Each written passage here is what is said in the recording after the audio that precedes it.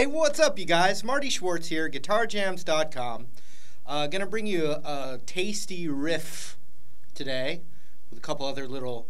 Uh, also, I come from GuitarJamz.com, and I've got uh, some lessons that are not on YouTube that will help you progress, as well as a chord and scale book.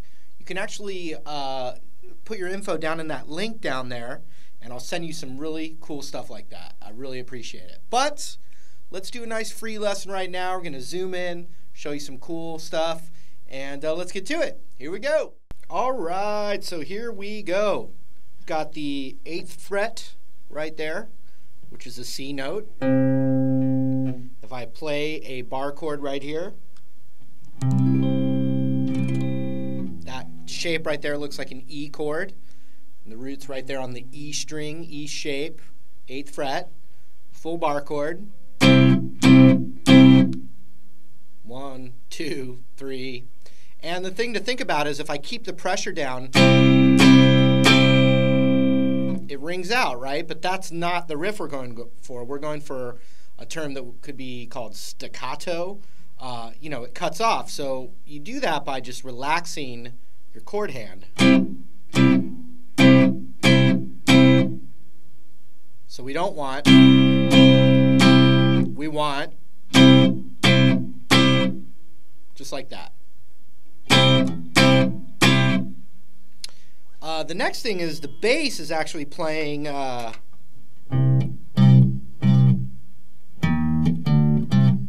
so it's kind of like a, uh, you know, it's an E flat to a D to a C. And that bass line underneath really helps thicken up this little, which is kind of like a funk thing. And that was a cool thing about the band INXS is that they, uh, you know, it was like a late 80s band, but uh, but they used elements of, of funk and dance music and rock. And I, I just, I really liked that band a lot. so here's our next little move. We're going to take our index finger and bar that eighth fret. And I think what we really want, we don't really want the G string in there. It can be.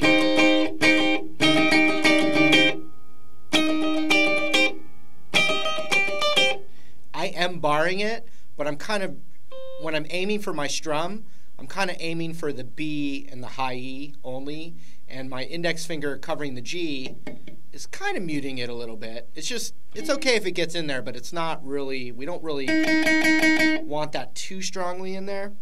And we need to get uh, some loosey-goosiness here.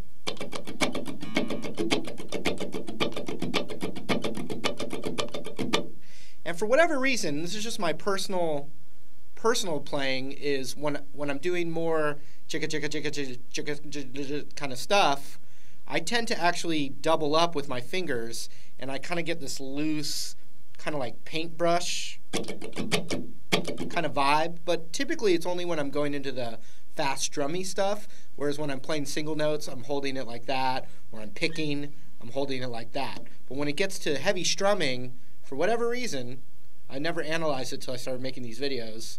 I hold it like that. So we've got.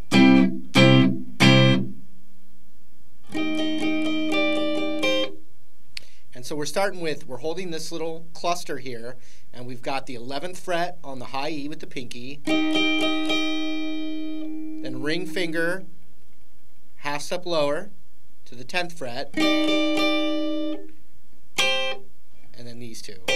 Like I said, the G is kind of getting muted in there, but.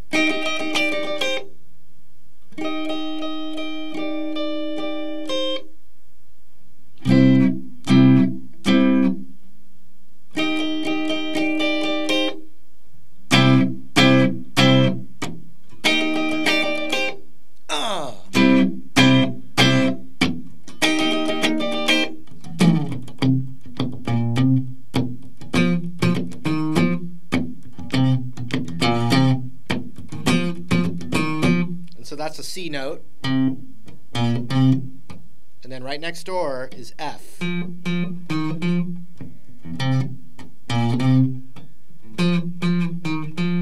there's this great palm muting, funky little pocket, little piece of guitar playing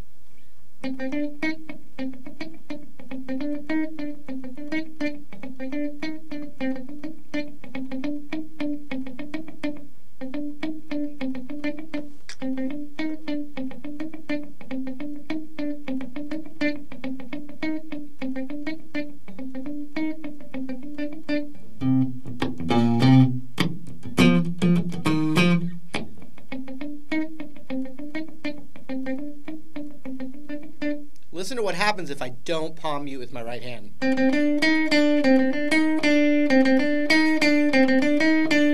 Now I literally can feel like the little vibrations under my palm right there, just kind of tickling my palm there a little bit.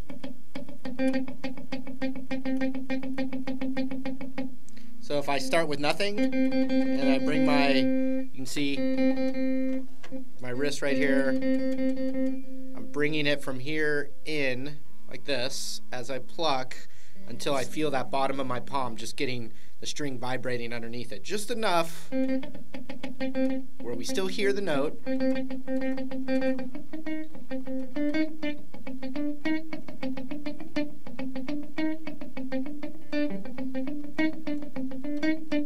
And that's a really good technique to work on. I'm going to go practice it after I turn this video off. Um, five, five, seven, and eight. So five, seven, and eights. Five, five, seven, eight. Back.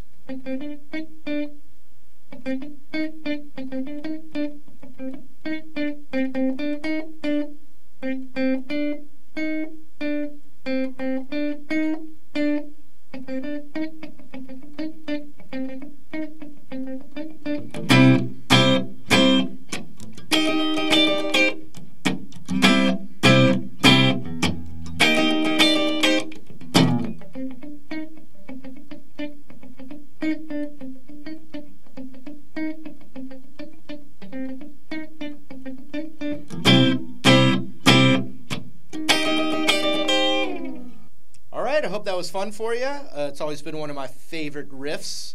Uh, I've got that link down there that you can check out. I appreciate the support, and uh, we'll see you in another lesson real soon. See you later.